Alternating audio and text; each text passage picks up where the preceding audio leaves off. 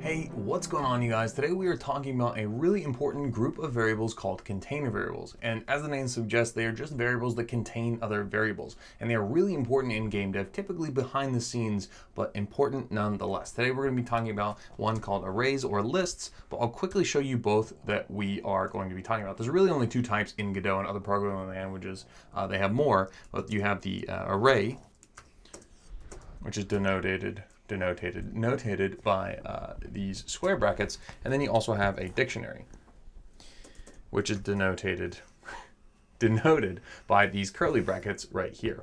Uh, the difference we'll get into later, except that uh, basically a dictionary is unordered and you look things up in it like a dictionary. Like if you want to get some information in there, we would ask like what the key or the, the word is and we'd get the definition. Whereas an array just kind of keeps things in some order. Now I'm going to change this to list because uh, I like to call these lists because they call them that in Python, and I think it really suggests uh, more so what they are. Lists really just contain other variables in some order. It keeps that order just like you would a shopping list. Uh, and both of these together are really important in building things like, for instance, if you're making a multiplayer lobby, uh, you know, what are the players in your game? You have them all in a list or an array. Uh, if you have an inventory system, like for instance, like a Pokemon game, you've got the bag, um, you know, you've got like the item slot, this slot, blah, blah, blah, and items in those slots. That's going to be using a combination of dictionaries and lists. Uh, I mean, they're just very, very helpful. Anyway, it's very, very important. We're going to go ahead and crack into it. So to write a list, you essentially have the option of one, just writing it all in one line, or hitting enter, uh, and you write like one thing, another thing, another thing like that. Um, but we're going to be doing it all in one line today, and I typically do that with lists that aren't too long like today. So you can make these literally anything. So I can put one here, I can put um, a string, say hello, uh, I can put a boolean value, right? So I can say true. Okay, and now we have a list that uh, contains these three variables. Obviously, these are not uh, assigned anywhere, or I'm sorry, three uh, data types, right? We've got strings and we've got this. And you can really put anything here. You could put a node, like for instance, if we make an instance of something, uh, or for instance, we could put bullet scene in here, just like that, and that still works. And now if I go ahead and I say print list, sorry if you can hear my pug in the background, we go ahead and run this, you can see that it, it, goes ahead and prints what's in the list. One, hello, as you expect. And then this, again, as we talked about, is the kind of identifier of this scene, right?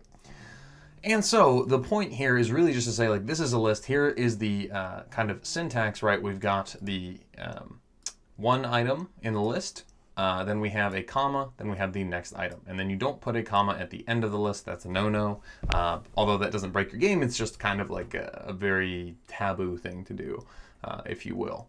Anyway, uh, again, as, could, as I said, you can uh, go ahead and separate this into separate lines if you wish. Some people like to do this because it looks a little more organized. I do that with my dictionaries, but not usually with my lists unless they're really long. Um, and yeah, so we'll go ahead and get into all the things you can do with a list. I am first going to go ahead and add a few values to this list. Uh, so for this example, I'm going to be pretending we're basically dealing with the item slot uh, of an old school Pokemon game. So we've got a Pokeball in here.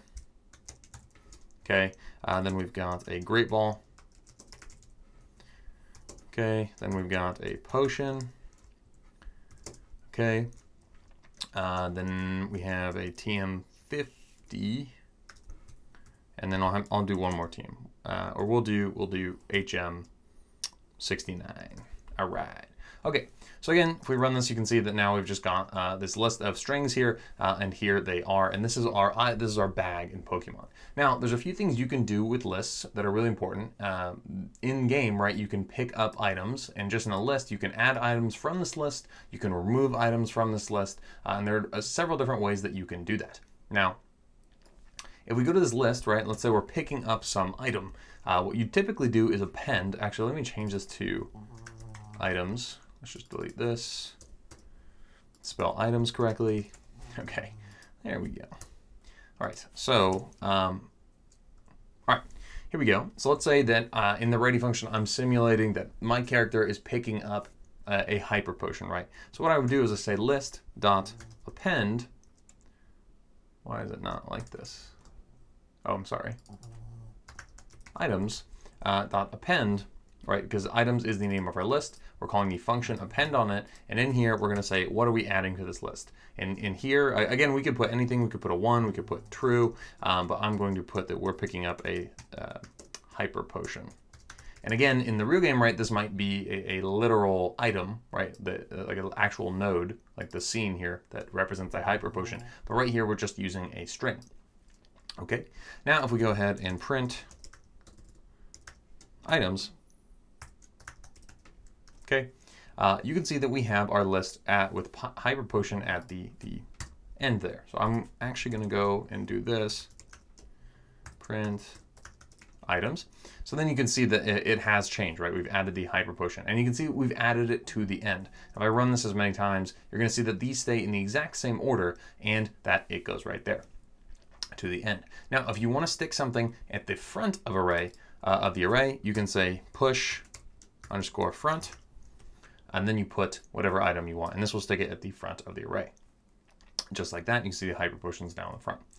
Now, before we get into anything else, it's important to know something about uh, these arrays or these lists, and that is that they are ordered and uh, each uh, item in this list has an index or a, a, kind of position, right, in that list. So we would call this position or index zero, right? Then we have position one, two, three, and four, aka negative one. I'll get into that in a second. But essentially, you start with zero and then you just count on. So this is something that gets confusing uh, even for experienced programmers because sometimes you forget that the list starts with zero and you, you'll mean to like grab uh, item number one from that list and or the first item off that list, you'll grab the second item. So how you would do that is to simply do, we'd use this syntax right here, if I can type.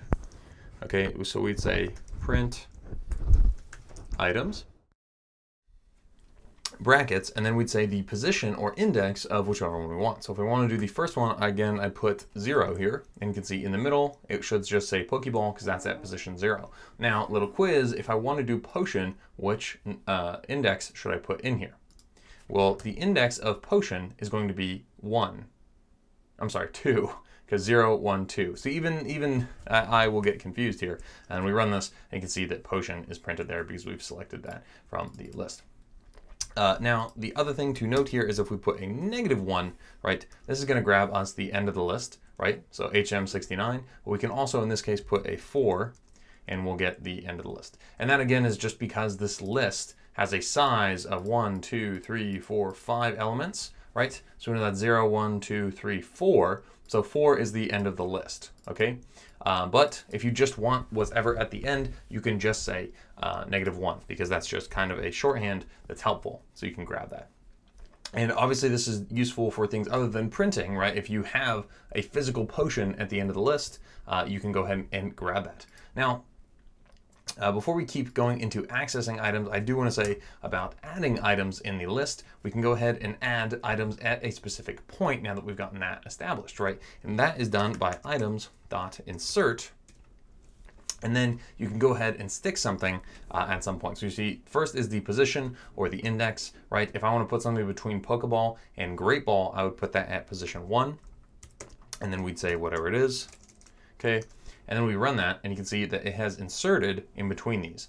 The other thing you can do is if you want to replace one of these items, you can do this, right? We can say items and we'll say zero. And then you say equals uh, and then whatever you want, right? Okay. And if we go ahead and do that, you can see that Pokeball has been replaced with Ola so uh, yeah, you can do that. that. That's pretty important to know. And those are those basically how you add things or modify the list. Now I want to keep going to accessing things in the list. Again, you can do items, this, and then the index, right? Other ways that you can uh, access items in the list, uh, you can check if the list has an item, right? You can say, for instance, if um, Pokeball, right? And then you can say in items, and we'll say print hello. Okay. Uh, now, of course, it's going to print hello because Pokeball is in items, right? So if the, if the list items contains whatever is in this if statement, then this evaluates to true, and thus this is run. Now, there's another thing that you can do this, uh, another syntax, syntax, syntax way you can do this, which is go if, um, we can say if items dot has Pokeball. And that's exactly the same thing. Um, dot has Pokeball, um, and that's the exact same thing as what we just did, except it's a built-in function. Uh, and for some people, that's just easier to remember. All right.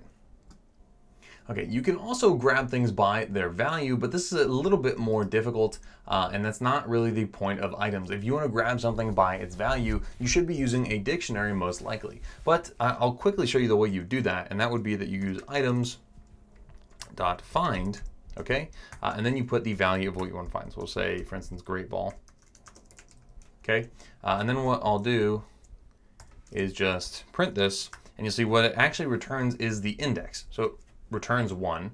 So if we replace print with uh, items, um, make this brackets here.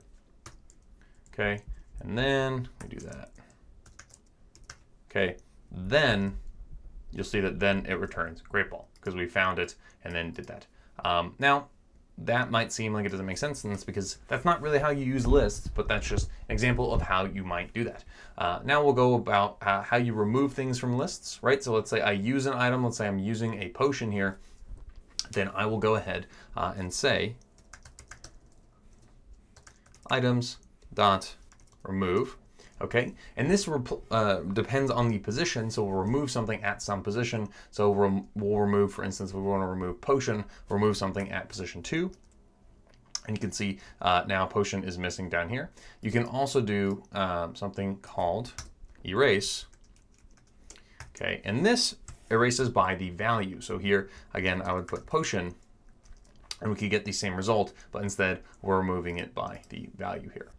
All right, so uh, that is just some of the things you can do with a list. There's tons of other ones. I highly recommend that you go up to your search help here and search array. Again, I call them lists, but they're technically called arrays in Godot, uh, but a lot of people will call them by both names, and that's because that's, uh, you know, in a lot of different programming language, it, goes uh, between both names there and you can see all the cool functions that it has. Most of them make a lot of sense once you understand lists. For instance, you have the count. Count will tell you how many times one of those. So for instance, if you do count Pokeballs, it'll say how many Pokeballs are in this list. Uh, if you do um, blah, blah, blah, blah, blah. Where is a good one? Oh, shuffle. Shuffle will just randomly place all them in some order in the list. Remember that the array is organized such that this is always going to be position zero. Where dictionary, it has no position uh, in the list. Uh, but if you click shuffle, uh, I'm sorry, or run the uh, the function shuffle, it's going to re or reorganize all these into different positions. All right. Now, what I like to do to kind of go over like how you would actually do this is to make a little uh, kind of simulation of us in our Pokemon game, in the bag, cycling through our list, and how that might work. So what I'll do here in, I'm sorry, not in ready, but in physics process, is I'll say if input dot is underscore action just pressed and I'll do UI down we'll say. So or I guess we'll do yeah we'll do down okay? Okay right I'm gonna pass because I need to make another thing. So we're gonna say var index we're gonna say equals zero okay? So we're gonna start with an index of zero. Then what we're gonna do here is we're gonna say uh, index plus equals 1. Okay, so we're incrementing our index by 1 every time we hit the down button, and then we're going to go ahead and make sure that the index does not go uh, or not become greater than whatever the size of this list is. So we'll say if index is greater than the size of the list minus 1, right?